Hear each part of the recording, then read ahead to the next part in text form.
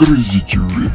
Вилли Вонка, американский фильм, приквел картины «Чарли и шоколадная фабрика». Детали фильма остаются в секрете, но уже известно, что это будет история о жизни Вонки до момента открытия фабрики. Знаменитого персонажа подарил миру писатель Раальд Даль, его повесть была экранизирована дважды, Мелом Стюартом в 1971 году и Тимом Бертоном в 2005 грядущий проект 2022 года станет предысторией для второй экранизации. Первые новости о выпуске этого фильма появились в 2016 году, но фактически съемки стартуют в 2021-2022 годах. В России премьера назначена на 2023 год. Режиссерское кресло займет Пол Кинг, известный по картине «Приключения Паддингтона». Сценарий написала команда авторов, куда вошли сам режиссер, Саймон Рич, известный картиной «Чудотворцы», Джефф Натансон, известен картиной «Терминал», Саймон Фарнаби, Стивен Левинсон, Саймон Стефенсон.